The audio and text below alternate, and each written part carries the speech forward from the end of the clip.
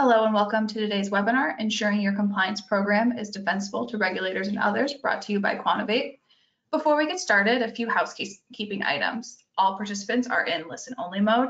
If you have any questions, feel free to submit them at any point during the webinar in the question tab on your control panel. We'll have time for Q&A at the end, and if we don't get to your question, we'll follow up with you. Today's webinar is being recorded. All registrants will receive a follow-up email with access to the recording and presentation slides after the event concludes.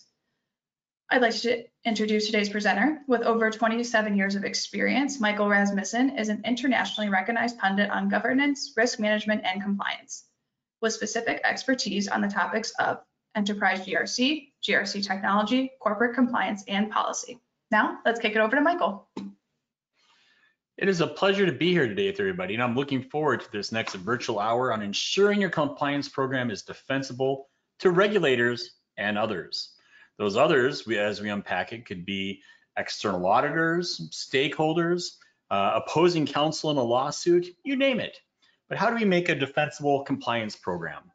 Um, so let's begin. So there's a lot of compliance pressures on banks and credit unions. One thing is you have frequency of change, changing laws, rules, regulations, enforcement actions.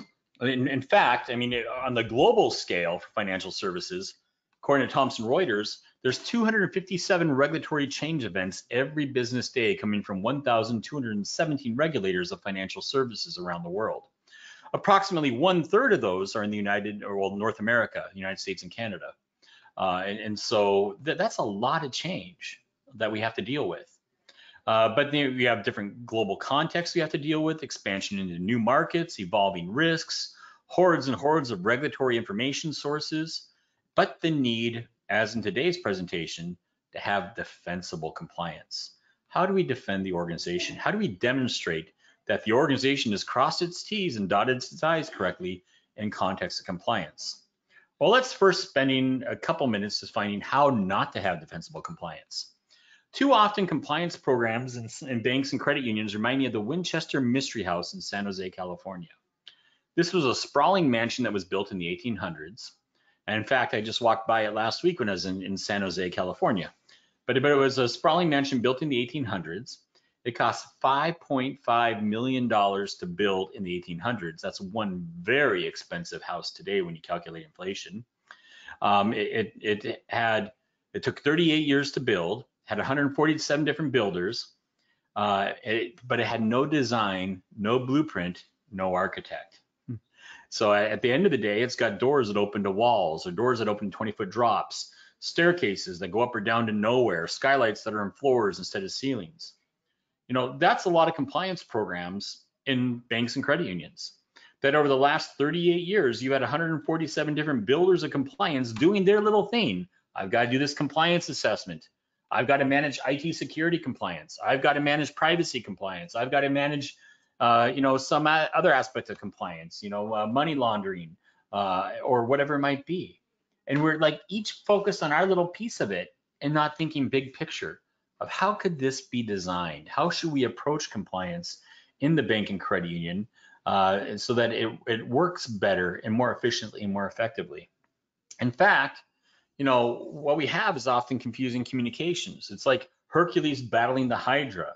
Hercules had many battles to fight. One was against the multi-headed dragon, the Hydra. You cut off one of its heads and multiple heads grows in its place.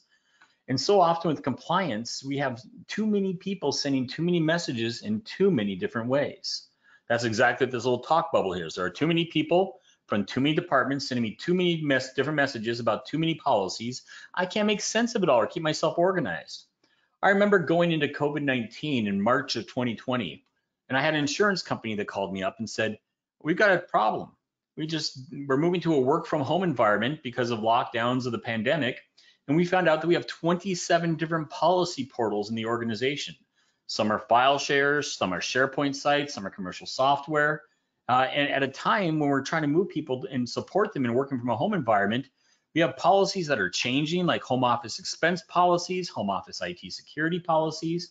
We have to remind people about other policies like conduct policies. Just because you're working from home, you know, the same rules apply as far as like harassment and discrimination and things like that in, in, in business meetings Uh, you, just because you're wearing your pajama pants underneath the desk, different rules don't apply to you.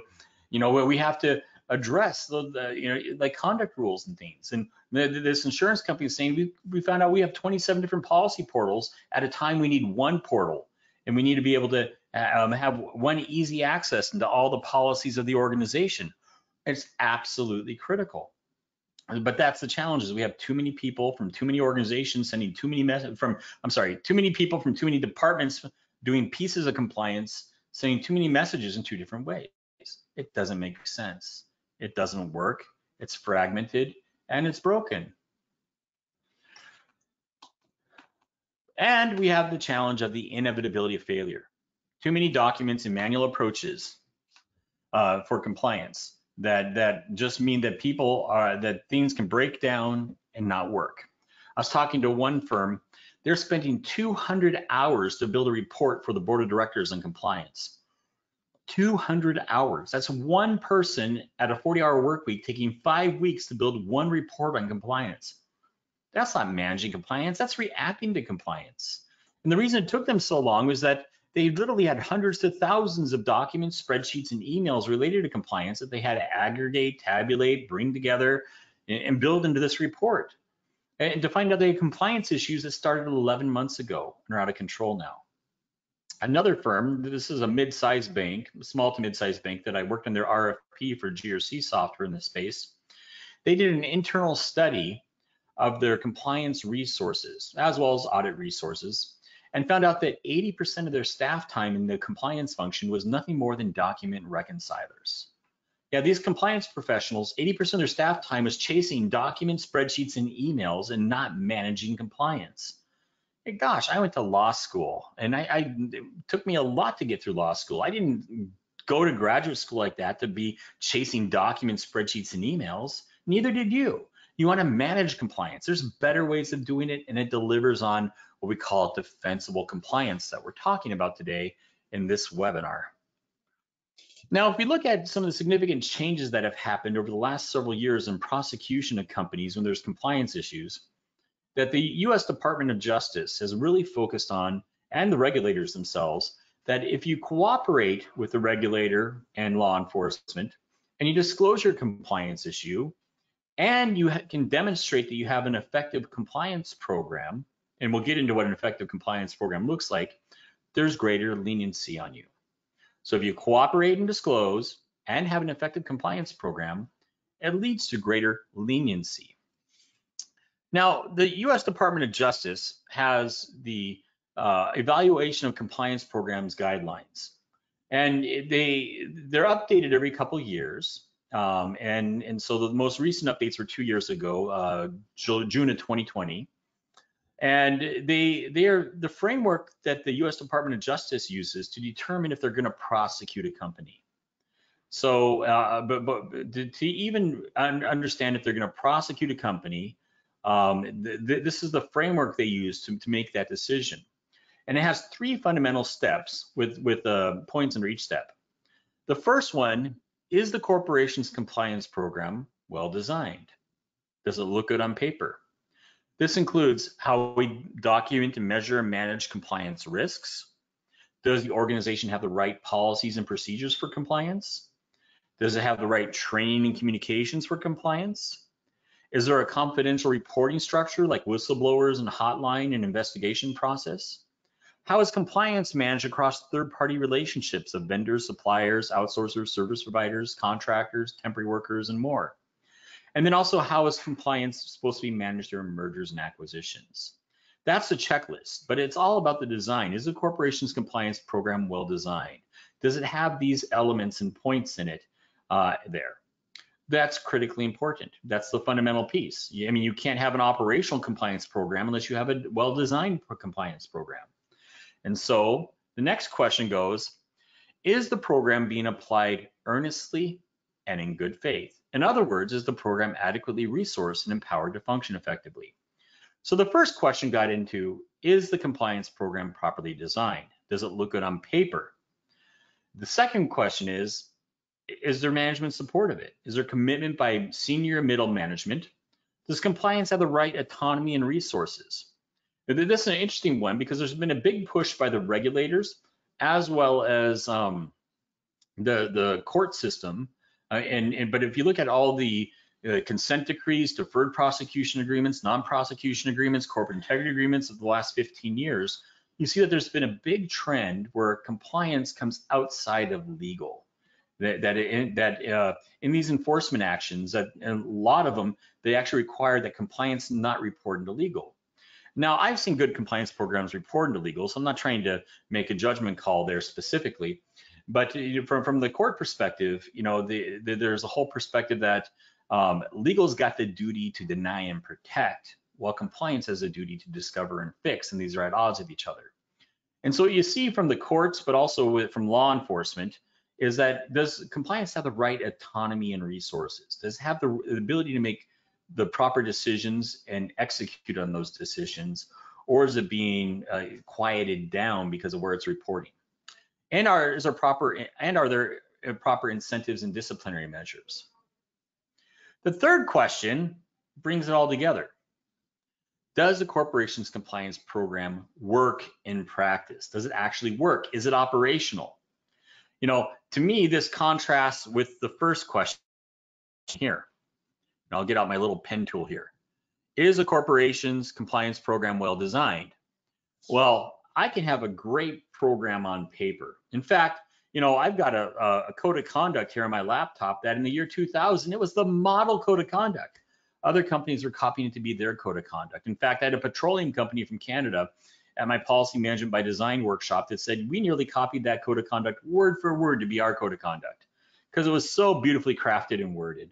It was elegant. We love to read the prose of it. And I'm just going on. But, but anyways, uh, I'm talking about Enron's code of conduct. I mean, you can have beautifully written policies and, and, and you can have everything look good on paper, but it doesn't mean it's operational. And we all know that Enron led to Sarbanes-Oxley um, 20 years ago. Uh, and, and so uh, they had a significant misconduct, didn't follow their code of conduct. So the, the, first question is, is the corporation's compliance program well designed? Do we have the right policies and procedures and, uh, and, uh, and assessments and risks, uh, compliance risk documented and all that? The second is, is it empowered? But the third one, is it actually operational? You can have great things on paper, but is it actually working and being enforced? And this includes continuous improvement, periodic testing and review of compliance, being able to manage investigations of misconduct and follow it through, and provide analysis or remediation of any underlying misconduct. Now, what's really important in the Department of Justice guidelines is the fact that they actually really call out for audit trails of activities, uh, and, and particularly around things like policy and policy engagement.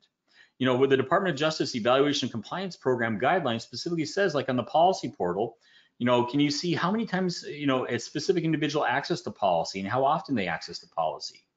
That's absolutely critical is having that audit trail and system of record for defensible compliance. I would argue that you cannot have defensible compliance without that audit trail and system of record. And if you're haphazardly, you know, writing policies in documents and throwing them on file shares or SharePoint sites that have no configuration of an audit trail of access, you're going to have a very, very, very hard time providing defensible compliance posture. You, you need good, strong technology that has that audit trail and system of record of all activities and interactions to defend the organization. Now, what I went through just uh, in the last few minutes was what we had on the left. Is the corporation's compliance program well designed? Is the program being applied earnestly in good faith? And does the corporation's compliance program work in practice? And that's what the US Department of Justice uses for evaluation of compliance programs to determine if they're going to prosecute a company. But let's quickly look at the other side of things. Let's say that they did prosecute the company, that they went through all these criteria and they ended up prosecuting a company, and the company was found guilty. What do the courts use? Otherwise, the U.S. Sentencing, United States Sentencing Commission, organizational sentencing practices. What do they use to determine the culpability of the organization? Well, they have a framework as well. And so uh, if you're found guilty of compliance issues of a criminal nature, um, as, as, an individual or as a corporation. You know, this is what it finds to, determine, you know, how severe of a penalty you're going to get. Uh, and, and these are mitigating factors. If you have these in the positive, they are Um, you know, factors that work against you if they're in the negative. And, so first is clear oversight, accountability, and resources. Is there somebody in charge of compliance, somebody that's accountable, that, that's responsible day to day to uh, that compliance area? The second one is standards and controls, otherwise policies and procedures and controls. Is compliance well documented in the environment? The third one is effective training and communication. You know, you can have great doc documents and policies, but if people aren't aware of them, why even have them? So the third element of the seven elements of an effective compliance program by the US Sentencing Commission, Organizational Sentencing Practices, is an effective training and communication program. The fourth element is there good evaluation, monitoring, and auditing? Are you doing compliance assessments? Are you monitoring compliance? Are you providing assurance on compliance? The fifth one is the enforcement, and discipline, and incentives around compliance.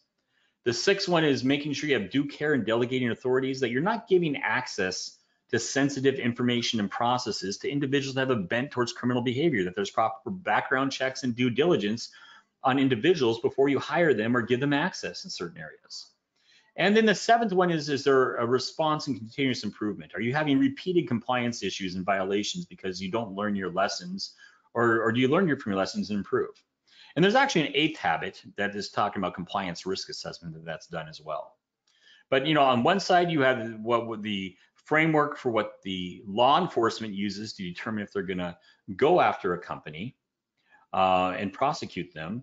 On the right side, you've got what the courts use once a company is found guilty that determines scaling factors on the the uh, fines and prison sentences of individuals and corporations, fines of corporations and prison sentences of individuals and vice versa.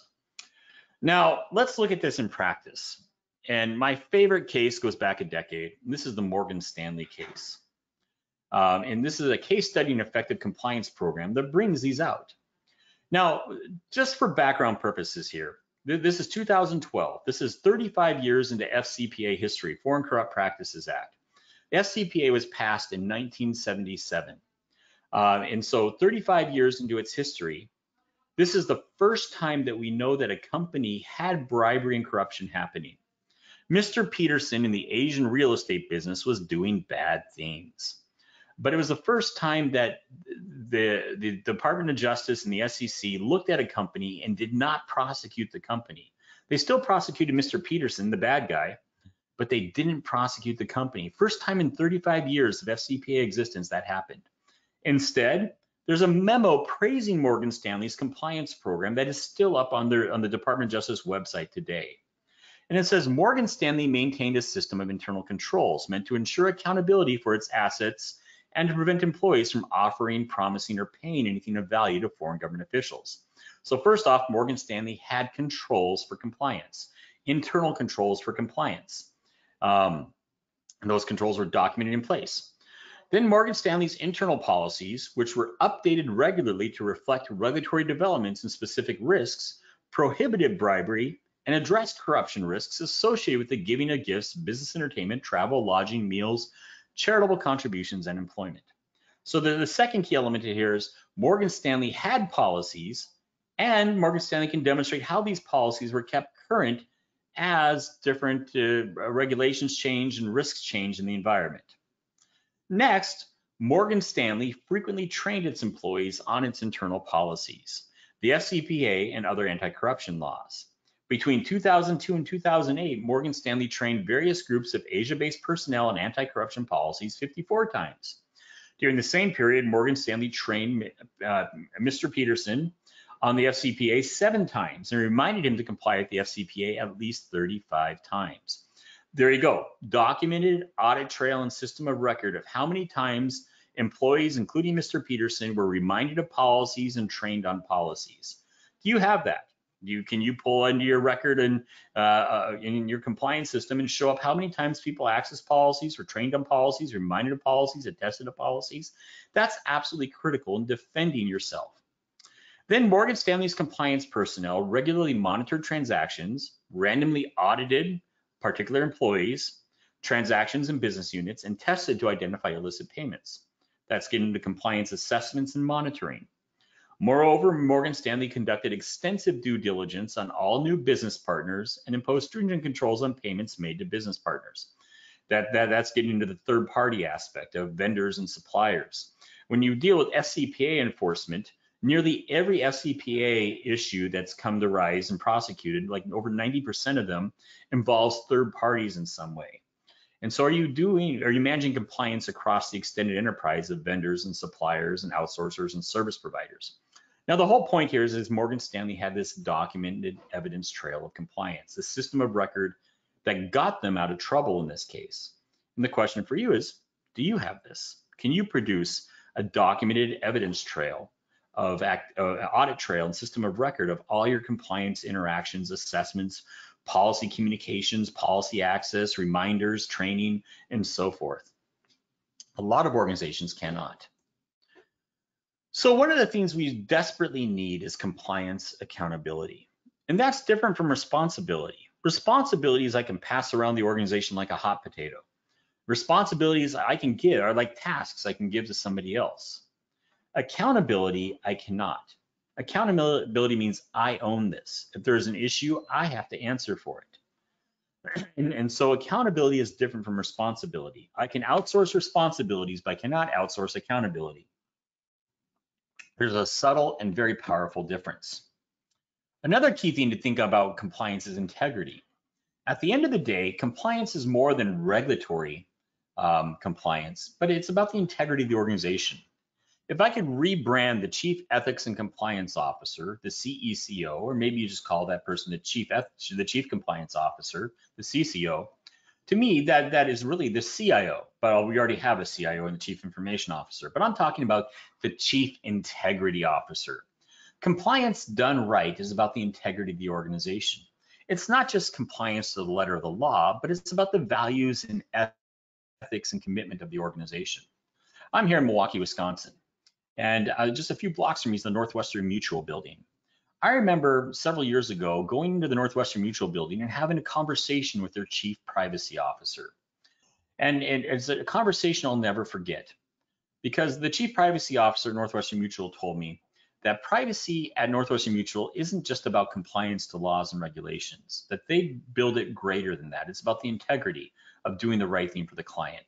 The chief privacy officer up on her wall at the time had the, the mission statement from uh, Northwestern Mutual dating back to the 1800s.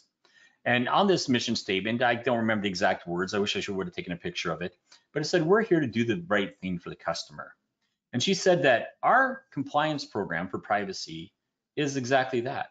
It's not about EU GDPR, California CCPA, or anything like that. It's about doing the right thing for the customer. And that's what we focus on for privacy. It's not just crossing, you know, our T's and dotting our I's and checking check boxes. We want to build our privacy program around integrity that we're doing the right thing for our uh, customer. And compliance is a natural fallout of that. Compliance comes naturally. But the question I have for you, when you're approaching compliance, how, where are you? Are you communicating to the world something that you're not? That you, you everything looks good on paper, but operationally it's a mess or just missing? Good, strong compliance is about integrity. That what you communicate to the world are your values, your ethics, your commitments to regulatory obligations and contractual obligations. That's a reality in the organization. Another key point is that compliance happens at all levels of the organization. Yeah, and compliance engagement needs to be measured at all levels of the organization. From the top executives, what was communicated to them? What did they know? Well, what, what, do they have clear visibility into compliance? Down to middle management and the frontline employees. You know, the doctor and nurse at a hospital are making patient safety and patient privacy decisions every day. That teller at the bank is making uh, uh, customer uh, privacy decisions. They're making uh, um, fraud, cash handling, money laundering, you know, compliance decisions every day. Those frontline employees are critically important. But so is the middle too, the middle management. I remember years ago interacting with a chief information security officer at a large high-tech firm. And this, this, this global high-tech hardware manufacturer was having problems because uh, of, of, getting in, uh, individuals through information security awareness training. And he realized that it wasn't, you know, an, a far end employee, the frontline employee problem, it was a middle management problem. That the middle managers thought, we're a good company, we've got good values and ethics and things like that. You know, this is just a waste of time. Just do the right thing. And, and they were telling their employees they didn't have to do that, the, the training. And so the, this uh, um, chief information security officer actually focused a quarterly webinar on middle management.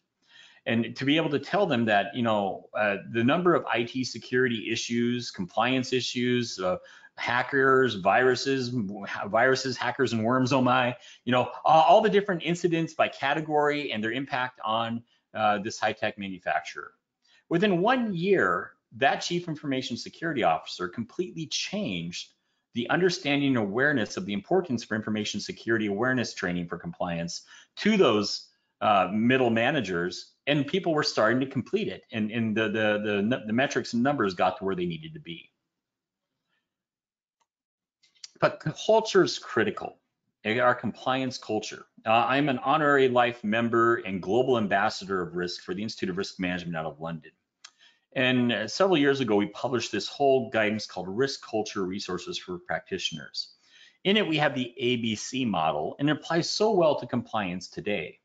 The attitudes of the frontline employees, like the teller at the bank, or even middle management or senior executives, those attitudes shapes the behavior of the organization and transactions and interactions. And that forms the, the, the corporate culture of the bank or credit union. And that has a symbiotic relationship of further influencing further attitudes and behavior. Now, culture can spin out of control overnight. You can go from good culture to corrupt culture in a day with the wrong things happening. But it can take years or even a decade to repair culture. Culture is an extremely important asset. And from a compliance perspective, we need to nurture it. And this gets into good policies, communication, training and awareness, and, and nurturing that culture in the organization.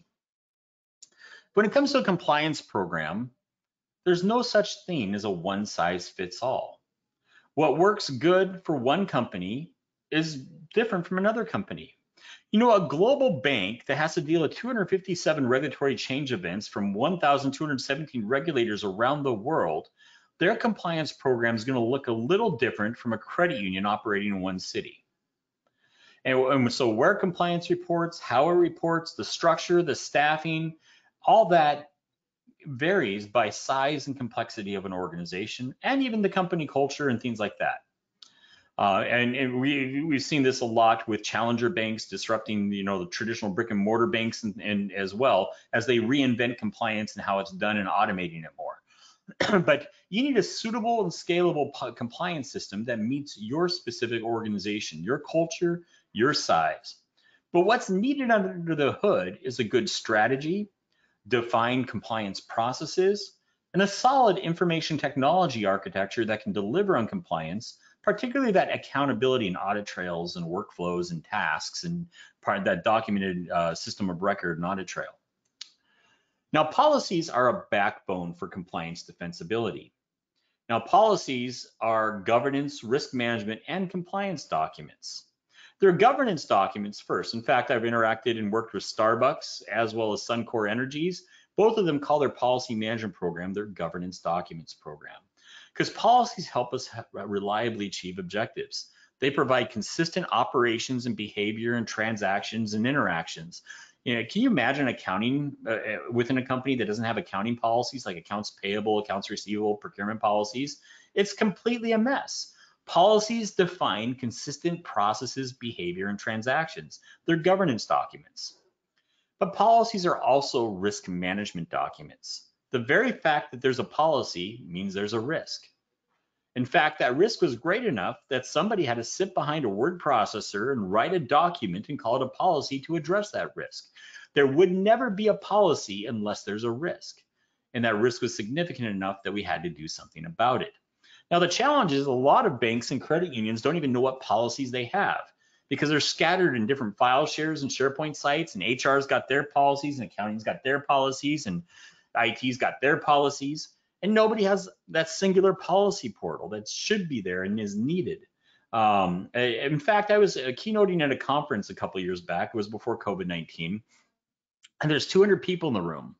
And I asked the question that uh, um, who in the room, if the regulator, uh, external auditor, opposing counsel in a lawsuit, whoever it might be, the law enforcement, if they want to see a master index of every one of your policies, anything that's an official policy from code of conduct all the way down to HR and IT policies, that you can produce a master record of all your policies. Two people out of 200 raised their hand. So many organizations don't even know what policies they have for compliance, let alone map them to risks. Then of course, policies are compliance documents. They help us have integrity and address compliance requirements and behavior in the organization. So effective and defensible compliance means that we have clear compliance engagement and communication that we establish our goals for compliance, whether it's privacy compliance, IT security compliance, anti-money laundering compliance, anti-bribery corruption compliance, HR compliance around harassment, discrimination, inclusivity, diversity. You know, what are our goals? What are we trying to achieve in this area of compliance? Well, who is our audience? Are there high risk roles, moderate risk roles, no risk roles? you know, the, the level of detail and training that a bank teller gets is going to be different from somebody that's cleaning up the trash uh, and, and, and, and, and cleaning the, the, the bank branch. Now, both need like things like privacy training because you're going to find printouts and, and, uh, and different and information laying around. But the level of scenarios and training and depth of communication varies on audience role and risk exposure to the bank or credit union. And so can we segment our audience in different levels? And then do we have the right resources to address this compliance? And how do we leverage technology to deliver communication of policies and attestations and awareness and training? What about accessibility? You know, is our compliance training and engagement um, uh, uh, accessible to those with disabilities? Or what about those that have uh, that don't that might speak another language and, and don't have English as a, a primary language? Um, how do we measure effectiveness and, and do quizzing, testing, and awareness of compliance? How do we align our communication engagement so that we can streamline things and, and not send people to 20 hours of compliance training every week of the year? Uh, and do we have right stakeholders to engage and back us up and support the program? From there, once we build our compliance uh, plan, uh, compliance communication engagement plan, we need to execute on it. And there's times that it's just simple that we need to make people aware there's a new policy or there's an update to the policy that's out there. And, and, and in our system of record and accountability trails for defensible compliance, we're just making noting that we sent an email out to everybody, making them aware that there's you know, a slight modification to such and such policy. Now, then there's a little bit higher risk area, you know, in which we not only need to make people aware there's a new policy, but we need to get some type of acknowledgement that they read and understood the policy, that they read through it and they clicked on the button and signed their name uh, on it. And but then there's even higher risk area that not only do we need to distribute and make people aware there's a policy and get their acknowledgement, attestation, read and understood, certification, whatever you want to call it, we actually need to send them through training on this. And different roles might have different levels of these. There might be some that just need just broader awareness of like a privacy policy. Others need to be attestation. And high risk roles that are interacting like a personal information day in and day out need that training on it as well. Now, I'm very involved with OCEG, the Open Compliance and Ethics Group. I'm one of their GRC fellows, and I partnered with OCEG in developing PolicyManagementPro.com, which has a whole policy certification course on the certified policy management professional and, and education and it's got the, the, the, the policy management capability model, which is before you here. And, and I helped author this and produce this content. But policies are critical and engagement of policies for defensible compliance. And it starts with govern in defining our policy roles like policy author, subject matter expert, policy owner, uh, and the standards like the meta policy, which is also called the policy and writing policies and style guides and templates. From the govern of the policy management program flows the develop, where we work on the, the, the assessment, the need for a new policy or the update to an existing policy, and the authoring and approval and review process. But once a policy is authored and approved, it gets into communicate. And we plan that engagement of employees and the different risk factors on who, what level we engage, different roles, and the delivery of the policy uh, uh, communication, attestation, and training program. Then it moves into enforce, where we implement that policy, we monitor it, and make sure that it's being followed and adhered to, and we document and manage exceptions. That's absolutely critical. If the regulator or external auditors are coming to you and they find exceptions to your password policy or your gift entertainment policy or political contribution policy or whatever it might be, you know, those are all red flags if you don't have documented evidence that they're going to find more and they should start keep digging. But if you can show them, yeah, we're fully aware that there's an exception to that password policy, and, and here's the reason why, and, and here's the exception, who approved the exception, when they approved it, why they approved it, and, and basically is approved because that's that critical business system doesn't support the strong password policy because it's a legacy system, whatever it might be. Exception document defensible compliance requires that exceptions to policies and controls be documented in the environment. And then finally, that moves to the improve, where we revise our policies and maintain them and redesign them as necessary. Now, good defensible compliance is going to mean that we have a strong information architecture for compliance, like our host Quantivate today, that we can clearly define our objectives, map our compliance risks to our objectives, the controls that are in place so we can reliably achieve objectives, but also mitigate those risks. When you have a risk, like a compliance risk, let's, let's say IT privacy or, or privacy, you know, you, you might have your inherent risk on a heat map, and then you then you want to get to a residual risk that's an acceptable risk. How do you do that? You implement controls. And so if we implement A, B, and C controls, we move that inherent risk, which is high, down to a low risk, which is we find acceptable. And so the, controls map to risks, and they're extremely important. Issues, incidents, cases, and investigations tells us where we're getting risk exposure, where controls are failing or missing or needed. Roles include subject matter experts or compliance risk owners. Policies, you know, as I mentioned, every policy maps to a risk in the environment, but a lot of organizations don't even have an inventory of their policies, let alone map them to risks. Policies govern controls. Your password policy tells you length of password, frequency of change of password, complexity of password. Those are all controls that get input in your environment. Your credit risk policy tells you the amount of credit and, and the credit score and, and, and worthiness of an individual that you can extend credit to. Those are controls that get implemented in your environment. Your gift, entertainment, and hospitality and political contribution policies tell you the amount of a gift, the frequency you can give that gift, over what period of time you can give that gift. Those are all controls that get implemented in your ERP and transaction environment. Your regulatory obligations change your risk exposure. Those regulatory obligations specifically mandates uh, controls that need to be implemented. Issues need to be reported back to the regulators. They, uh, those regulatory, those regulations might indicate when policies need, to be revised and then kick in the role of subject matter expert to review those policies. Now, if you're managing all these different components and different documents, spreadsheets, and emails, it's a recipe for disaster. You're going to find that it takes 200 hours to build that compliance report for the board of directors. And by the time you get it done, you find out you had compliance issues nine months ago. Uh, and, and you have isolated systems and things like policies may be managed in file shares and controls are being and risks are being managed in spreadsheets. You, you fail to get this intersection of knowledge. You know, why are we having all those issues, cases, investigations? Are we hiring bad, wicked, evil people that want to do bad things? Maybe, but most often you find that there's a policy awareness problem, like that high tech firm that I said. You know that that employees aren't going through uh, reading the policies and going through training on the policies. That you have an awareness problem, and it's not bad people. It's it's a bad policy communication engagement program.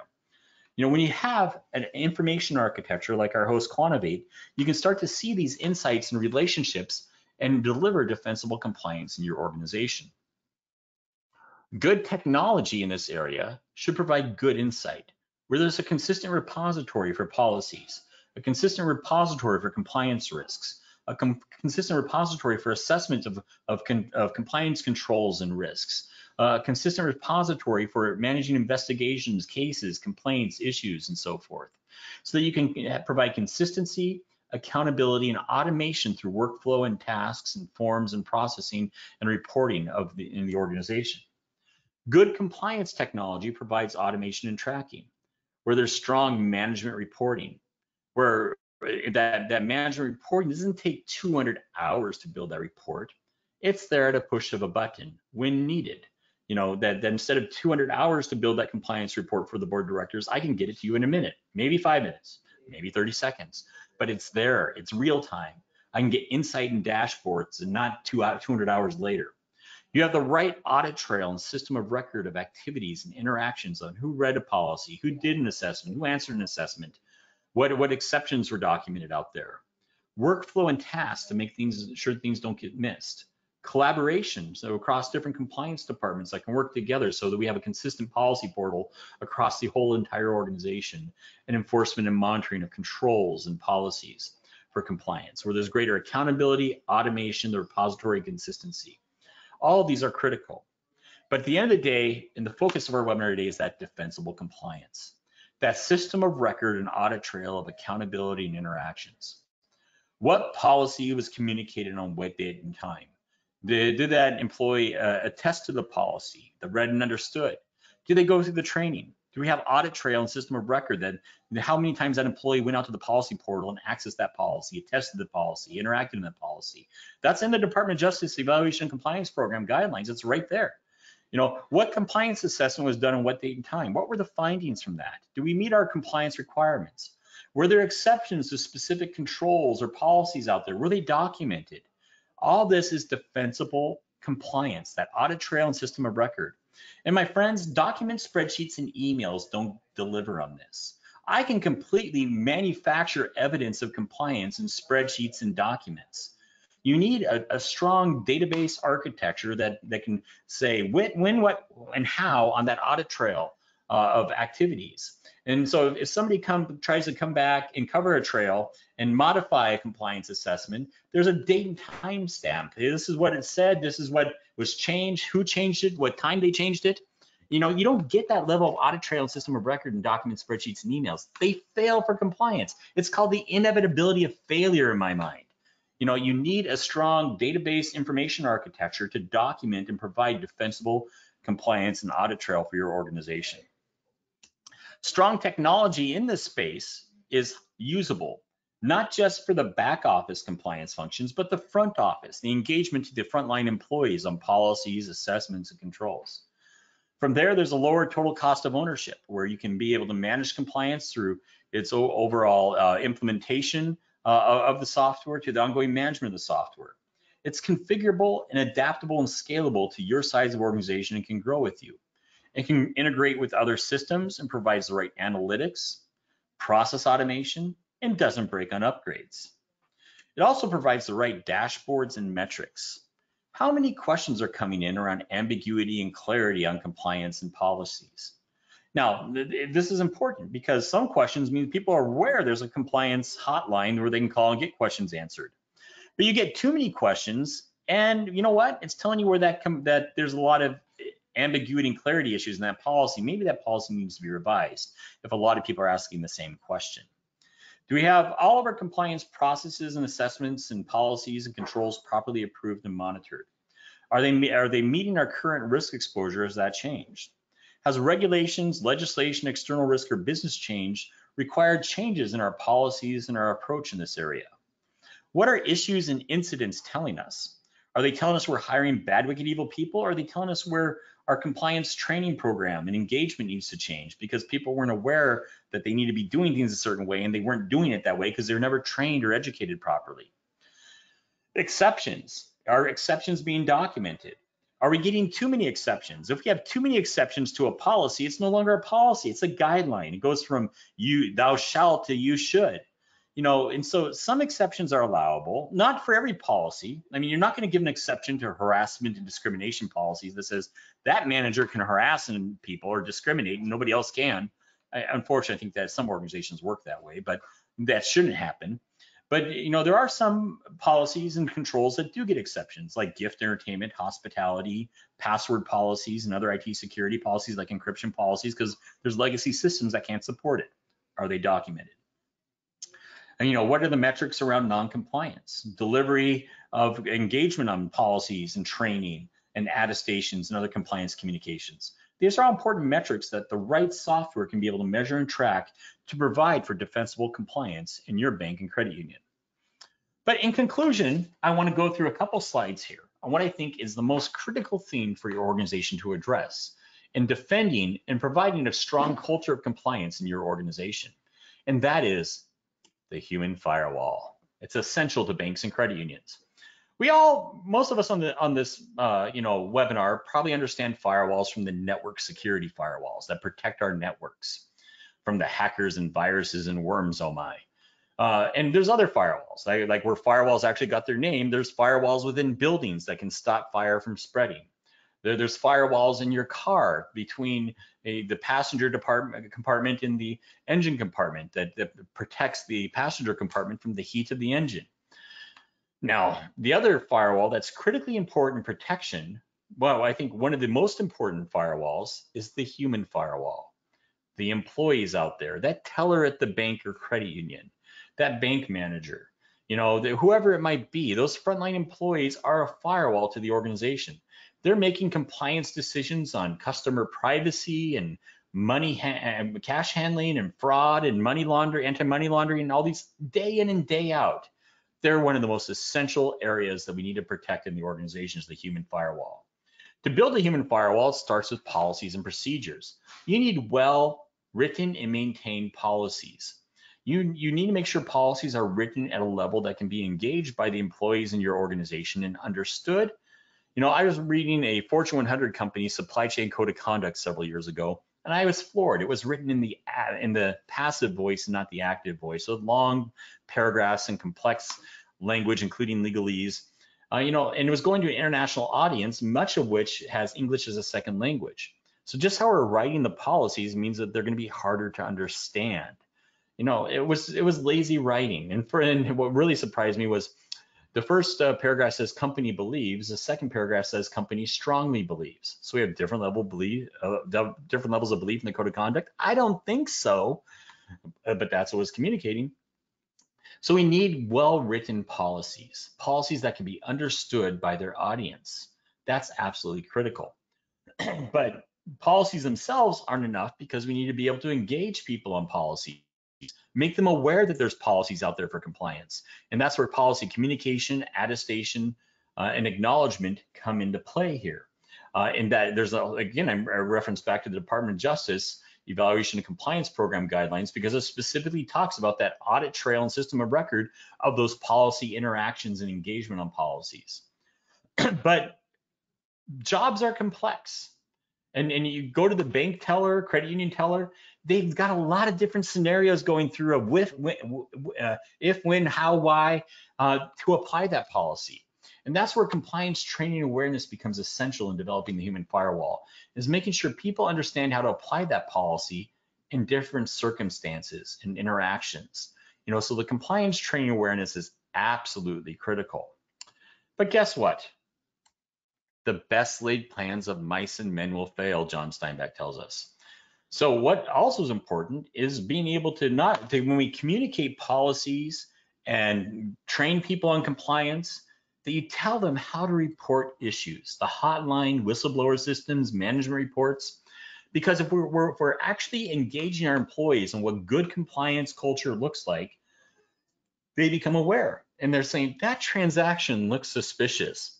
You know, that interaction I saw with that employee, that employee, that shouldn't have happened. That crossed the line of harassment, discrimination, whatever it might be. You know, if we educate and train our employees, they become finders of non-compliance out there that can tell us where things are, are going wrong and alert us before they become big things. And we can contain them when they're still small things we the part of the human firewall is that issue and incident reporting and the whole investigation incident management process. But another important element is the extended enterprise.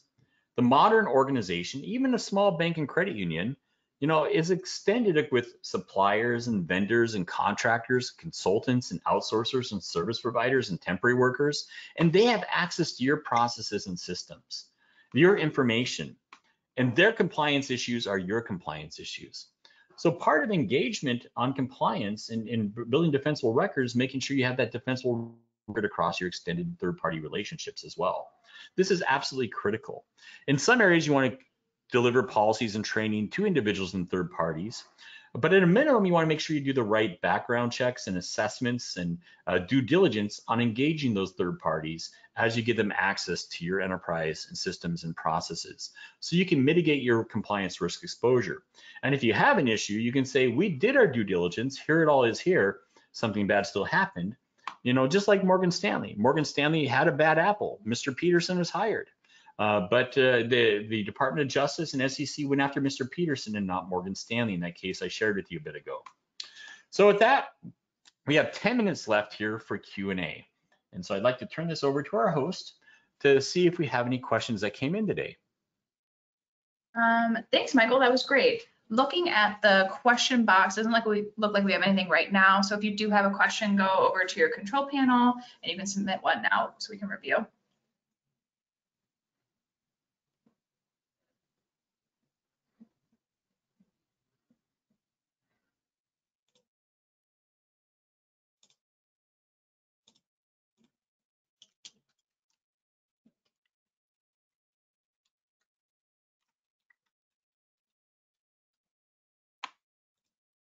Well, for those that are thinking about it, and maybe this presentation is going to keep you awake tonight and you're going to be thinking about everything that I said, and all of a sudden a question comes to your mind at 2 a.m. in the morning, you've got my email address right there. Or you can send me a LinkedIn message or whatever it is. I'm, I'm happy to interact with your questions as they come to mind after the fact as well.